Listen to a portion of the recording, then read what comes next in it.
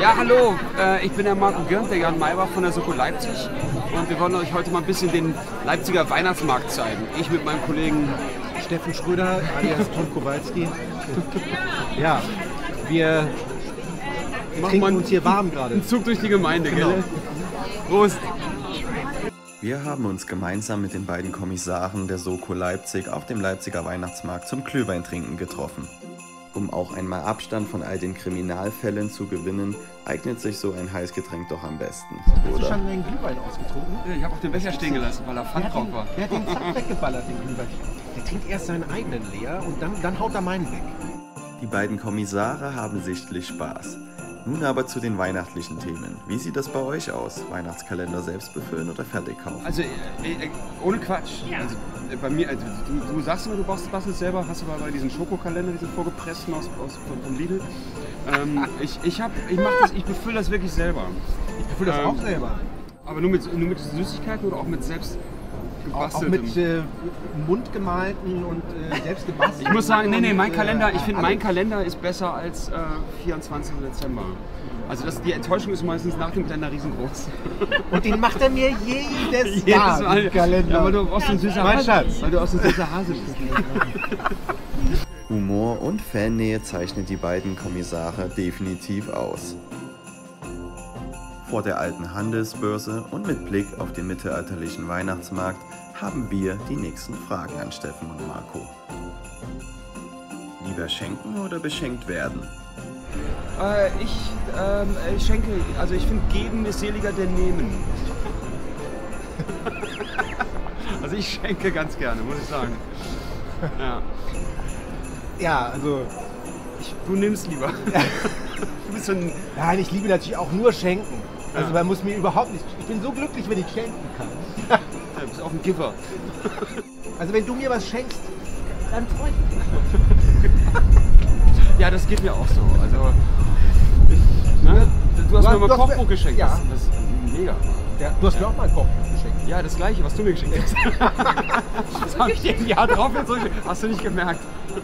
Wie sieht eigentlich der Weihnachtsabend bei euch zu Hause aus? Also 24 ist so Familie ähm, und äh, äh, bei uns zu Hause. Also ja, Ja, bei uns auch. Ähm, äh, ich habe zwei Schwestern, die kommen immer zu Besuch mit der ganzen Familie, also ist der Stall voll. Ähm, wobei dieses Jahr wahrscheinlich eher getrennt äh, stattfindet. Das wird ein bisschen kleiner, aber auch familiär und auch zu Hause. bei mir kommt niemand zu Besuch dieses Jahr am 24. Sonst waren manchmal meine Eltern da, manchmal meine Schwiegereltern. Ja. Die, die, die hatten, glaube ich, keinen Bock dieses Jahr. Die sind dieses Jahr bei meiner Schwester. Ja, wir wollten nicht wieder Kochbuch Die kriegen. anderen sind bei der Schwester von meiner Frau. Ja? Die, die, die Ja. wollten nicht so viel Geschenke, glaube ich. Das war denen einfach. Das, das sind auch Giver. Und wie sieht euer Weihnachtsessen aus? Fondue, ich bin äh, absolut, also Ja. ich, es gibt einmal im Jahr Fondue, das ist zu Weihnachten und zwar seit der Kindheit, ich liebe das. Ja. Und da muss ich auch über die, die Fleischhürde drüber. Aber bei uns eigentlich so den richtigen, mal so Gänsebraten gibt es am ersten Weihnachtsfeiertag, oder nicht? Nee, das ist, ja, da haben wir, Nee? ja, ja, kann sein, bei euch, dass es bei euch gibt. Nachdem wir noch ein Stück über den mittelalterlichen Weihnachtsmarkt geschlendert sind, nehmen wir die beiden Kommissare mit nach oben auf den Balkon des alten Rathauses. Man merkt ihnen an, so einen Ausblick haben sie wohl nicht erwartet.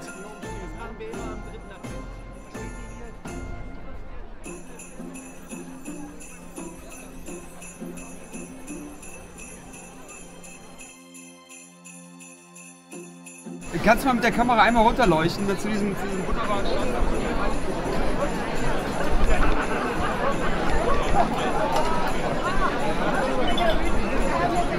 Das ist die Südtiroler Absturzbude und der Name spricht für sich. Ein böser Stand, ähm, der einen schon wirklich vom Schlitten nehmen kann, muss man sagen. Mit sehr netten Südtirolern. Ja. Ähm, manchmal, wenn es schon spät ist und wir zu spät dran sind, äh, klopfen wir auch hinten. Und die kennen uns und dann lassen die uns rein. Ja. Weißt du noch? Wann das ist der- eigentlich ziemlich wann witzig. ist der da kann man Weihnachtsmarkt hinten, da klopfen wir und dann freut er sich, weil der kennt uns schon von jedem Jahr. Wir überfallen die, das ist ja glaube ich illegal, das darf man gar nicht so Nee, offiziell das stimmt. kundtun. Also der hat keine Wahl, wir klopfen an, wir müssen rein und dann geht es ein bisschen weiter, weil 9 Uhr ist schon wirklich eine relativ ähm, steile Ansage. Und 9 Uhr schon an, hier die, die Zelte abzubrechen, finde ich schon. Aber er verlangt eben dann früh. auch, dass wir mit ihm anstoßen. Und Ja, das zu Recht. Man kommt da manchmal erst dann deutlich später wieder raus. Aber eine, eine sehr schöne, liebgewonnene Tradition. Einmal im Jahr treffen wir uns alle hier und ähm, lassen den Südtiroler Südtiroler sein. Also, Glühwein oder lieber Bier? Äh, Glühwein. Ich trinke ich trink wirklich, äh, also in der Weihnachtszeit wahnsinnig gerne Glühwein. Mag ich auch gern. Ja. Ich finde den Weißen ja auch gut. Ich finde, dass der Weiße eine gute Erfindung ist. der Weiße ist echt... Nee, nee, nee. Ich bin eigentlich sonst, also genau, sonst bin ich auch bei dir auf Weißwein, aber Glühwein muss irgendwie rot sein. Hast du mal den Weißen getrunken? Nee, aber jetzt Ja, fange ich wieder die Diskussion an mit, mit Kanalratte gleich, und Kürbiskuchen, weißt du? Das ist, das ist, äh, Was der Bauer nicht kennt, ja, Ja. was soll man da sagen? Probier mal den Weißen. Nein, ich finde, das gehört sich nicht. Der Glühwein muss rot sein. Und euer Lieblingsfilm zur Weihnachtszeit? Ach, kann ich so pauschal gar nicht sagen. Ich weiß, ähm, also ich weiß, wenn man jetzt von einem Weihnachtsfilm redet, den ich wirklich, wo ich immer noch lachen kann, ich finde, ein Film, der gut gealtert ist, ist äh, hier mit äh, Bill Murray, Die Geister, die ich rief. Finde ich immer noch lustig. Also der wird halt oft, Geister, die ich rief. doch, kennst du, äh, äh, diese, diese Weihnachtsgeschichte, diese Charles Dickens Weihnachtsgeschichte, wo er ähm, die, die, Geister der, die, die Geister der vergangenen Weihnachten immer wieder trifft. Was? Kennst du nicht? Und Bill Murray in Bestform. Äh, also wirklich, wirklich gut. Wirklich lustig. Täglich grüßt das Murmeltier, meinst du? Nein, das, ist, das hat ja nichts mit Weihnachten zu tun. Ah, den außer, ich gerne. außer, dass es da schneit, glaube ich. Ne? Ja. Das ist, ja. Ähm, aber aber mh, äh, Die Geister, die ich rief, ist echt ein Weihnachtsfilm und ich glaube, der wird auch Weihnachten wahnsinnig von allen Sendern rauf und runter gespielt. Und den sehe ich ganz gern. Ich gucke so wenig Fernsehen an Weihnachten, deswegen habe ich den noch nie gesehen. Was war bisher euer schönstes Weihnachtsgeschenk? Ich weiß, ich habe mal einen Weihnachten gehabt, da habe ich mir. Also ich habe die, alle haben ausgepackt den ganzen Abend und ich nicht. Also meine, ich habe zwei Schwestern und alle packten aus wie wild. Und ich guckte so rum und ich habe irgendwie so ein kleines Ding aufgepackt, da waren zwei Socken drin. Alle packten aus wie wild. Und äh, ich hatte mir einen Tischfußball gewünscht, also so ein Kicker. Und irgendwann kam dann, da war dann eben der Tischfußball, da war eine Platte drauf und das war der Gabentisch. Und dann zum Schluss, als alles abgeräumt war, ging die Decke weg und dann kam der Kicker zum Vorschein. Und dann, äh, das ja, werde ich bis heute nicht vergessen, dass dann irgendwie zum Schluss für mich die Erfüllung kam. Das war, das war ein geiles Geschenk als Kind. Was ich total super, super fand, kannst, kennst du von, von Dux, war früher so eine Firma, gab es diesen kleinen in Orange, so einen Super 8 Filmapparat, aber so ganz, also so ganz einfach, so, so ähm, das war auch nicht besonders so teuer. einer- Mit so, für, für 10 Mark gab es so Filme, die man So da Rollen, rein, mit so Rollen. So eins, nur so Bilder. Gab's auch erst welche zum Kurbeln und mit dann 3D-Effekt. Mit 3D-Effekt. Guckst rein und siehst so ein Bild mit 3D-Effekt? Nee, nee, aber da konntest du ein Bild an die Wand werfen, ohne Ton natürlich. Und nur, es Ach gab so, so nee. kleine Filme, die so ohne Ton und Ja, ja. so klein. Ich kann mich erinnern. Und äh, ich kam mir davor wie so ein, wie so ein, wie so ein, wie so ein als, hätte ich, als hätte ich ein Kino. Ich habe auch meine ganzen Freunde eingeladen. Ich habe immer, hab immer den Voice-Over gemacht, also, weil es gab ja keinen Ton. Und mir die Geschichte dazu erzählt. Ja. Und ähm, habe ich heute noch. Habt ihr denn noch ein paar letzte Worte, die ihr an unsere Zuschauer richten möchtet? Also, Ja. äh, ich- wir, wir wünschen euch wie immer, wie jedes Jahr, frohe Ja. Weihnachten, ein gutes neues Jahr und nicht vergessen, alle Wünsche werden klein, gegen den gesund zu sein, okay?